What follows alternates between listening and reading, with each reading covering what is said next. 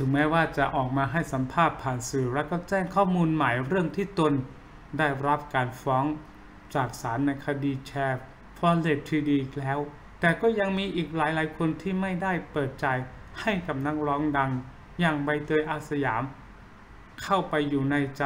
อีกรอบกันอย่างมากมาย และต่างก็พากันแอนตี้รวมมาถึงบูลลี่เธออยู่ ซึ่งก็ทำให้สาวใบเตย ไม่ได้เปิดตัวหรือว่าไปออกรายการใด ๆ เลย ซึ่งก่อนหน้านี้เธอก็ได้ไปออกรายการดังทางช่อง YouTube ของอินฟลูเอนเซอร์คนหนึ่ง ก็เลยโดนถล่มจากช่องเน็ต จนเจ้าของช่องต้องปิดคอมเมนต์กันเลยทีเดียว ล่าสุดก็เหมือนเดิมที่สาวใบเตยได้ไปออกรายการดัง ซึ่งก็เป็นการให้สัมภาษณ์เรื่องราวในอดีตและอนาคตของเธอ ซึ่งก็ไปพร้อมกับน้องชายและลูกสาวคนสวย แต่หลังจากที่มีการโปรโมทออกไป หลายหลายคนก็ไม่พอใจกับคำโปรโมทและข้อความลงรายการที่ออกมาไปถึงสาวใบเตยในแง่บวกพร้อมกับพากันมาคอมเมนต์ดราม่าใส่ในรายการดังว่าไม่เหมาะสมและไม่เห็นใจคนที่เสียหายเลย บางก็บอกว่าขอทวงความรับผิดชอบจากรายการ บางก็บอกว่าผิดหวังมาก และก็ขอให้